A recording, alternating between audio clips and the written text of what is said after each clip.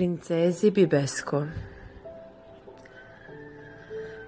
e, Draga princezo Bibesko Žalim, ali morate da prestanete da pišete ta mala ljubavna pisma mom suprugu dok god on i ja živimo zajedno. Znate, dušo, to je jedna od stvari koja se ne radi. Vi ste vrlo mladi. A zašto ne zamolite svog supruga da vam objasni nemogućnost takve situacije? Hm? Molim vas. Nemojte me terati da vam ponovo pišem.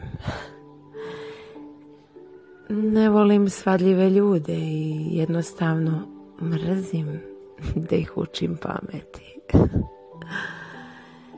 S poštovanjem. Catherine Mansfield